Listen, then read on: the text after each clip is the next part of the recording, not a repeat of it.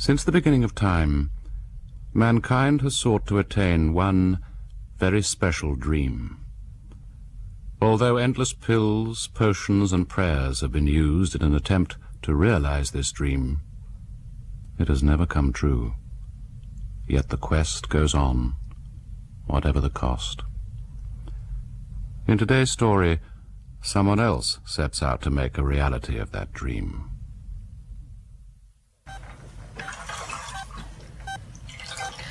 Don't you think we should stop? No, I mean, before... before we succeed. but we have succeeded. Look at the eyes. They're looking back at you. They're not. Move your hand closer. Go on. John, we should stop. Closer. Oh, he bit me! He damn well bit me! You see? I'm bleeding! He bit you that hard. That's wonderful.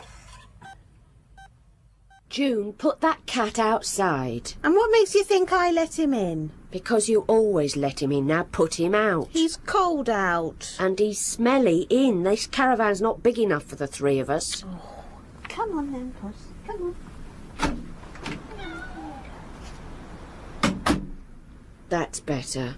Now come and have some tea. And take this coat off. It's all right. You don't have to do it for me. I'm not stupid. Didn't say you were stupid. I'm steady. Reliable. Who have you been talking to? No one. No one. I see. Cat's got your tongue, has it? Can't have. Cat's outside. Oh, we are Miss Clever today, aren't we? So what's Miss Clever? I've handed in my notice at the pet shop. You've done what? Are you telling the truth? Yes. What's got into you? Do you know the trouble we went to to get you that job? A job with animals, a job you could do? They're in cages. Never mind cages, you'll go back down there now and apologise to Mr Tutton and say you want your job back. But I'm going to have a career. What are you talking about? Dr. Bellhampton has offered me a career at Crowley. What? The research place? What is all this about? He came into the shop to buy some rats, but then he came back because I'm the sort of girl he's looking for, he said. I can start on Monday. That's what you think. Haven't you heard what they say goes on there? Things to turn your stomach. He said you'd be worried, so he should come and see you. Set your mind at rest, he said. Did he now? She impressed me at the pet shop, Mrs. Woods. So uh, helpful and conscientious. Excuse me. Not like so many young people today. Obviously well brought up. Well, she was, yes. Tell me, Doctor, what does this work involve? Nothing strenuous. Looking after some animals, keeping an eye on things, just being there. The work, what is it? Pushing back the frontiers of medicine. Working in the battle against cancer. I don't think anyone can argue against that. Well, no. Mrs. Woods, I'd very much like June to work for me. If you're still worried in any way, then come along to see the laboratories, meet my colleagues. I'd be delighted to involve you as much as you like. Yes. Doctor, you do know June is, well, educationally, um, Different. Yes. But she's quite capable of doing what needs to be done. I do hope you'll feel able to let her come and work with us. So, June, this is your room. I didn't think I'd get a room. It was just somewhere in case you should ever need to stay the night. Do you feel at home here? I think so. I expect a girl like you feels at home most places. You must have lots of friends. No, Really? Not a special friend? just Mum. And Dad? He works away. Well, I'd like to be friends with you. Do you think we could be friends? I think so. Good. Are you all right? Yes, I'm fine. Uh, listen, if we're going to be friends, there's one thing I'm going to have to ask you. Can you keep a secret, June? I think so. You want to be friends, don't you? Oh, yes. So if I tell you something's a secret, you mustn't tell it to anyone, not even to your mother. You have to promise. Yes. John? Hmm. Oh, is this her? It is. Maggie, I'd like you to meet Miss June Woods, our new laboratory assistant. June, this is Maggie, my deputy. Hello. How are you? How am I? Oh, don't ask. John, mm-hmm. I've just spoken to Clive. He's talking about the 22nd. Yes? I thought we'd agreed to postpone the op for at least two months. Well, we've changed our minds, haven't we? So why don't you run along and organise it? John, I really think you ought to... Yes? Nothing. Nothing. We mustn't let ourselves be disturbed by the other staff, must we, June? No. Not when we're having a meeting. Now, let me show you where you're going to work. And you're very privileged to be allowed in. Everything that happens in there is secret. You remember about secrets? Yes. Good.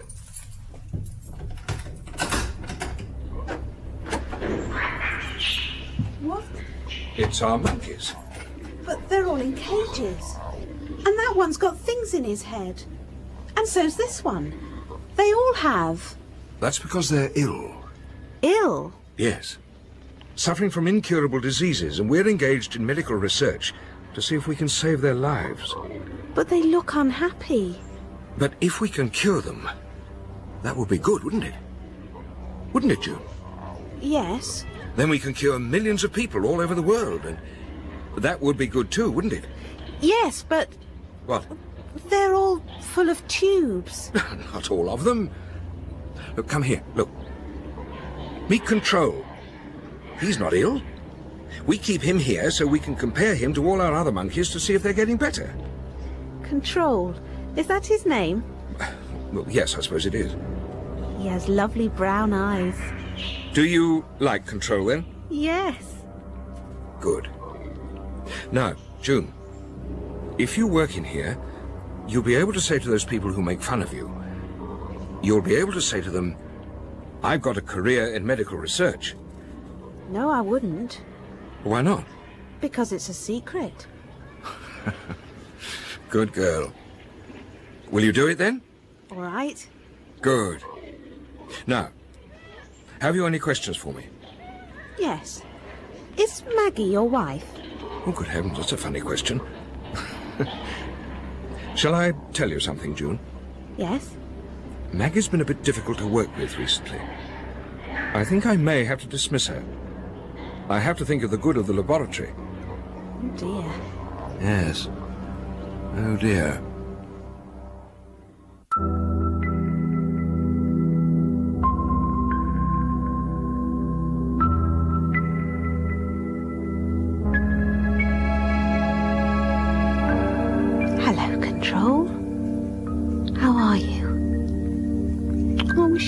Look so sad. I've brought you some fruit. Dr. Bellhampton said I could. I'd like to touch you, but I'm not allowed to because you'll bite me. You won't bite me, will you? Not if I put my finger through the cage. No, I knew you wouldn't. Shall I rub your head? Like Mum does when she washes my hair. Hello? What are you doing, June? I've closed everything up like I'm supposed to. Yes. Yes, you have, haven't you? What an excellent assistant you are. And you've made friends, I see. Yes. I don't like looking at all the other monkeys, even though I know they're ill and you're trying to cure them. Cure them. Yes. John's a right little St. Francis of Assisi, isn't he? And, of course, very handsome. I suppose you're attracted to him, are you, June? I'll tell him. You'll like that. And, uh, does he talk about me? I'll take that as a yes, too, shall I? Has he mentioned firing me? You see, I need to know. Been offered this well paid job, and if I'm going to be dismissed, I might as well take it. Only I need to know now. You understand? Yes. It's my whole future at stake, you see. Please. Is there anything you can tell me? No. Only if you were to tell me, I could help you. You know what will happen to Control here after all the experiments are over. There'll be no use for him. He'll be put down. Killed. No. You wouldn't want that, would you? It's not fair. No, it's not. And I could arrange for him to be saved if only Could you... you now? Doctor, You said to try my best. you won't kill Control, will you? No, of course not. I'm afraid we've just been testing you to see if you could keep a secret. Only Maggie was a little over enthusiastic. But you're not going to kill Control. Good heavens, no! Promise me. Of course I promise. I promise no one will ever hurt control. Is that enough? All right. Anyway, June, you've done very well. You've shown you can keep a secret. And I promise, any secret from now on will be deadly serious. You might see some real surprises next week. What? What do you mean next week? I mean a seven-day period of time from the present. You know what I'm saying. We agreed not to rush ahead. Oh, pardon me. Naturally, I defer to your superior intelligence. Obviously, all I've done is to be the first person in the world to perfect a new scientific technique, whereas you've been the lifeblood of this laboratory thanks to your nervous breakdowns. Perhaps I should really do it. Hmm? Perhaps I should fire you. Shall I do that? Shall I? It really would be no trouble. Sorry, I didn't quite catch that. I said no. So you're staying then? June? She's staying? now, isn't that nice? John? Are you All right.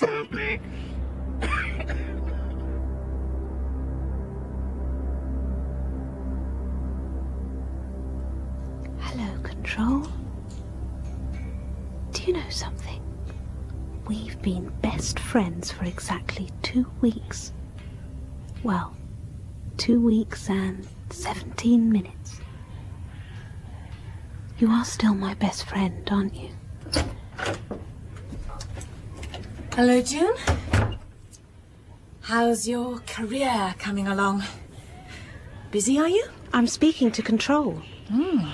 I'm sure it's a great meeting of minds. Oh, I do like your earrings. Where did you get them from? I. Well, Oh, yes, I remember. Dr. Bellhampton gave them to you, didn't he? And you take them off before you go home so your mum doesn't see them, don't you? Nasty to you, aren't I? a bit. Do you know why?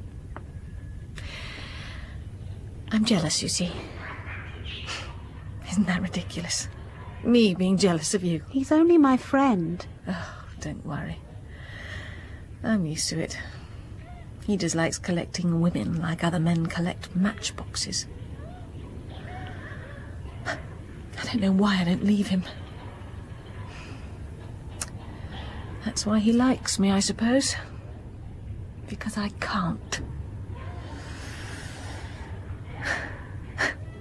Listen to me. Talking to you like you talk to that bloody monkey. He's not a bloody monkey. He's control. That's what they should call John. Evil-minded bastard. I think he gets angry because he's ill. He takes all those pills When? when he thinks no one's looking. You've seen him? I think that's why he's nasty to you sometimes. He's nasty because he likes being nasty. I don't think so. He cures all the monkeys here. Oh, yes. Like a bacon smoker cures pigs. Shall I show you what's inside this little room here? yes. I think I will. Well, Dr. Bellhampton said I mustn't go in there until I was shown. Oh, well, then that's all right. You're about to be shown. Come on. Are you frightened to look? No. All right, then. There. How do you like it? It's a monkey. Oh, correction. It's a monkey's head. But it's moving. It's alive, that's why. But its body. It hasn't got one. These tubes pump the blood in and out, and the machinery acts as heart and lungs. Oh, it's horrid. Isn't it? See how Dr. Bellhampton amuses himself on rainy Sunday afternoons. Is it really alive? Push that button. That button there, push it. See? It can speak. It has a voice box. And look at it, watching you with its little beady eyes. Put your hand near. Go on. See? It tries to bite you, you see? Oh, nothing new, of course. According to the good doctor, a French scientist in the 1880s tried to attach the heads of guillotined prisoners onto the bodies of dogs. Unsuccessfully, I presume. It was indeed.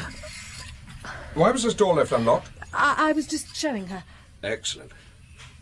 I was going to show her today anyway. Why don't you run along, Maggie? I just thought it was about time she knew what yes, of course you did. Nothing wrong with that. John, I... We'll speak later. So, June, what do you think of our latest breakthrough? Why did you do it? Because it's a way of keeping the monkey alive. It was dying, you see. Lots of tumours in the body, but its head was untouched. So this way, using an artificial heart and lungs and a kidney machine to cleanse the blood, we should be able to keep it alive almost indefinitely. You look worried, June. Yes, because it's... Saving a life. Soon we'll be able to do the same for humans. Like if your mother was to get cancer. You wouldn't want her to die and leave you all alone, would you? No. Exactly. And this way we could keep her alive. So you see why we did it? Is there another head? No? Why? There's two empty cages. Aren't you observant? well, you've got a naturally scientific mind, you see. And you're right. To perform the operation, we need some of the blood vessels from a second monkey whose tissue matches. So you killed two? The second one was very ill. He'd have died within 24 hours. And at least this way we're keeping one monkey alive. Aren't we, June? Yes. Good. But remember, this is a secret. Yes. You see, any tittle-tattle in the village could wreck the chances of success. Do you believe in God? Oh, yes. God hears every promise you make. And down below is hell, full of all the bad people who broke promises. All the bad people in endless torment. All that screaming. I'll keep my promise. You don't have to frighten me. I wasn't trying to. It's just I reflect on torment quite a lot at the moment. It's necessary sometimes, you know, for us to advance. And we must advance. Always advance. Now, June, would you be prepared to work nights here? We need someone to keep an eye on the place. Obviously, I'll talk to your mother and we'll increase your pay and just think, you'll be able to have lots of long talks with control.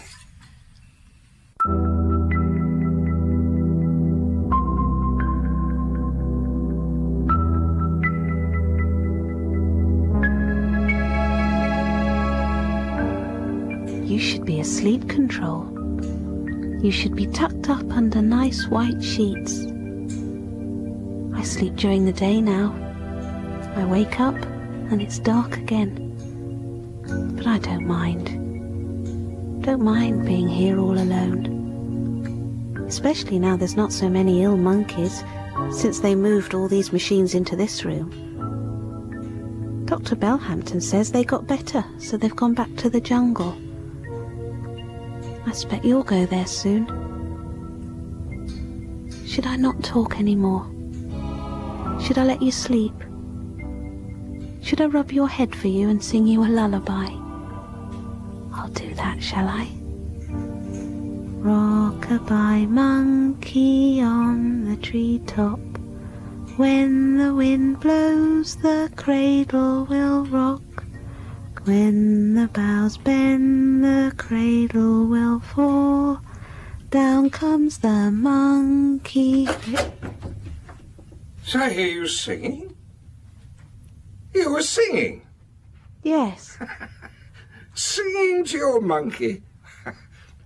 Will you sing to me? Please, I'd rather not. So, you sing for a monkey, but not for me. John? Do you know why people like monkeys? Because they're helplessly inferior prototypes of themselves. All right, John. Probably some teacher of extreme low intelligence telling them how wonderful nature is. I hate all this fashionable, sentimental slobbering over nature. Man's destroying nature. Good. Let's get the bastard before he gets us. Decay. That's what nature is. And, yes, I have been drinking. He's had some bad news, June. You go home now. I- I'll call you a taxi. Come back on Monday.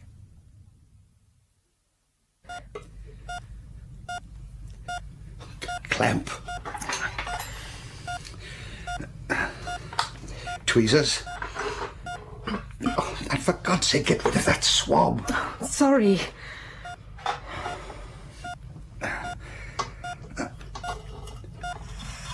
There.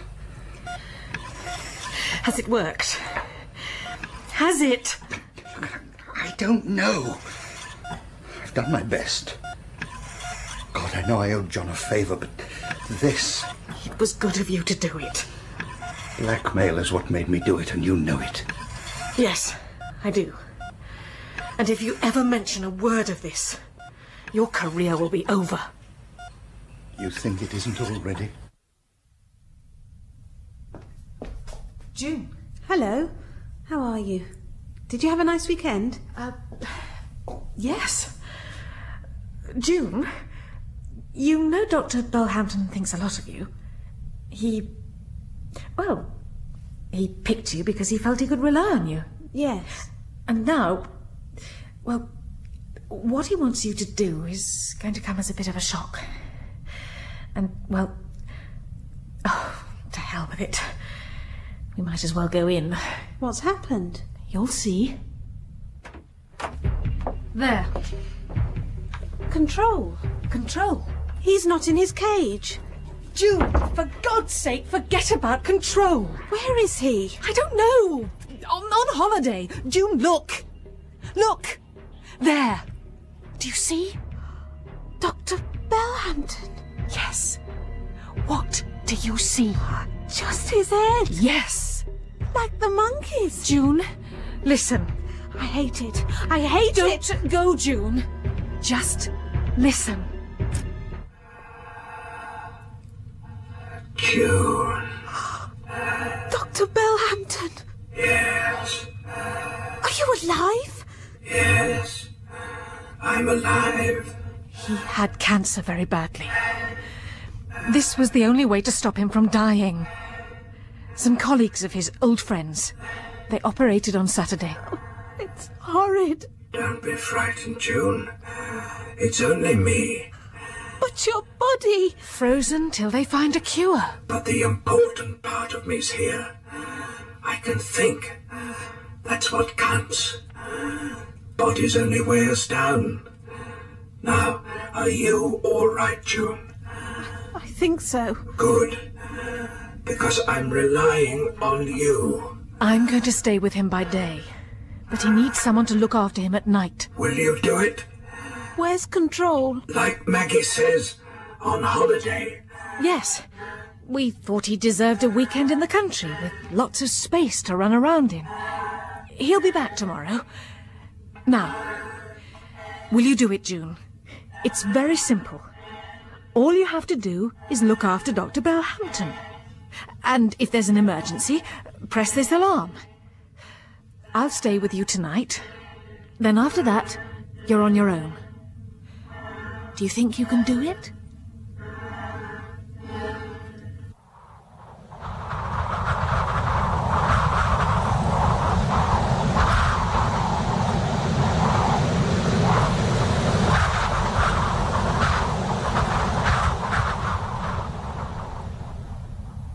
Doctor? What is it you want? Oh, I see. You have to press that before I can speak. Yes, I realise. What's it like outside? There's a big storm. You say it's the worst this winter. Mum says it's because we're mucking about with nature. We're not mucking about with her. We're mastering her. Do you understand that? Yes. Uh, is something the matter? Yes. I want control back. But he is back.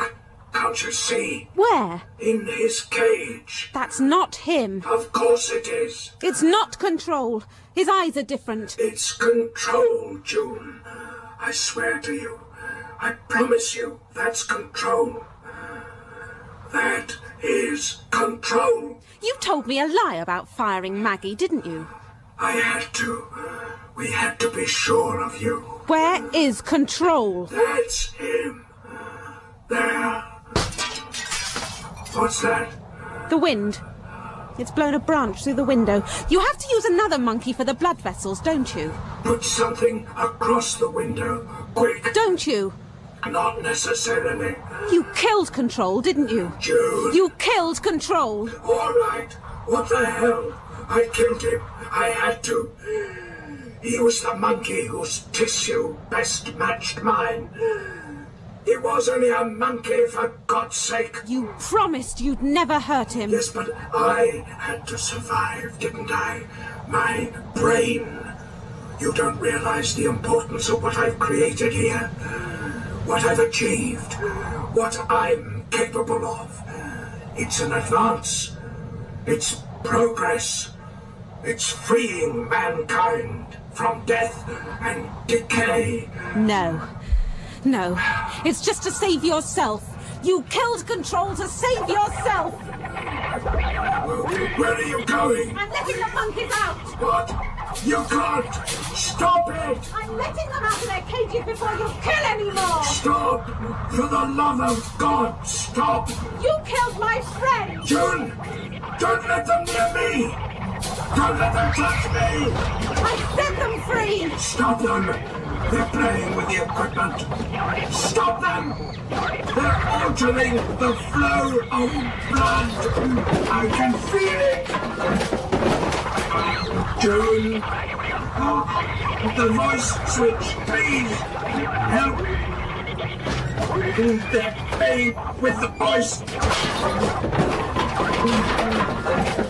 Stop them! Please! Stop! Killing me! Rockabye monkey in the treetop. When the wind blows, the cradle will rock. When the bough breaks, the cradle will fall. Down comes the monkey cradle.